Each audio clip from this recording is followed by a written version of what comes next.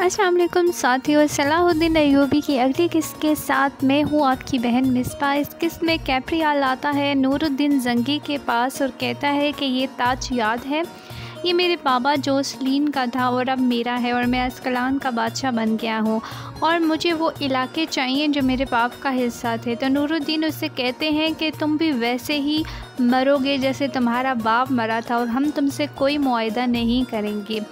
नूरुद्दीन का भाई नसीरुद्दीन और उसका बेटा सुल्तान नूरुद्दीन और सलाहुद्दीन के ख़िलाफ़ साजिशें बना रहे होते हैं कि कैसे इन दोनों को रास्ते से हटाया जाए।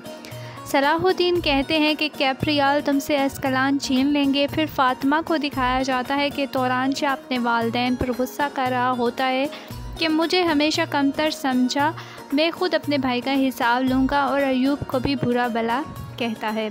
सलाहुद्दीन के साथी परेशान हैं कि शहनशाह की तरह हम भी लगता है अब कुछ नहीं कर सकते। तो सलाहुद्दीन आते हैं और उन्हें कहते हैं कि सलेबी सा, के सारे अड्डों पर ताक लगाओ कि क्या क्या हो रहा है। उनके इलाकों पर क्या क्या हो रहा है फिर विक्टोरिया को दिखाया जाता है कि वह कैप्रियाल से शादी पर खुश है और अपने उस्ताद के साथ अस्कलान जाने लगती है। वो भी शातर और तेज़ मालूम होती है। सुरैया अपनी से उसकी पोपो पूछती हैं कि शाम के सुल्तान नूरुद्दीन ने क्या साथ देने की हामी भरी? तो सुरैया कहती है, नहीं तो फुप्पो बरक जाती हैं। और उसे कहती हैं कि, तुम अब लड़ो अपनी फ़ौज के साथ। दूसरी तरफ़ विक्टोरिया जिस रास्ते से आती है, सुल्तान सलाहुद्दीन के बंदे अकब लगा कर देखते हैं और पैगाम भेज देते हैं। मगर सलेबी फ़ौज उनको देख लेती है और पकड़े जाते हैं। उस्ताद कहते हैं कि तुम कौन हो? तो वह नहीं बताते और उनको विक्टोरिया मार देती है।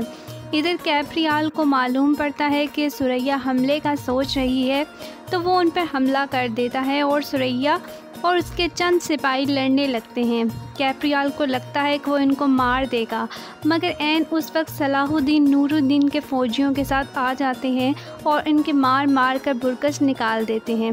कैप्रियाल पीछे हो जाता है सुरैया के हाथ पर चोट लगती है, जिसे सलाहुद्दीन पट्टी बाँध देते हैं और फिर शहनशाह की कब्र पर फातिहा करने आते हैं। वहाँ पर शहनशाह का बेटा उम्र होता है और वो कहता है कि मैं अकेला हो गया हूँ। तो सलाहुद्दीन कहते हैं, अगर दिल में मोहब्बत का जज्बा हो तो मरे हुए भी आपके साथ ही होते हैं। तो कभी भी ख़ुद को अकेला ना समझना और हमेशा अपने माँ बाप को अपने पास ही तस्वुर करना। इस एपिसोड में यही हुआ। अगली किस्त में देखते हैं कि कैप्रियाल क्या चाल चलता है। तब तक अमान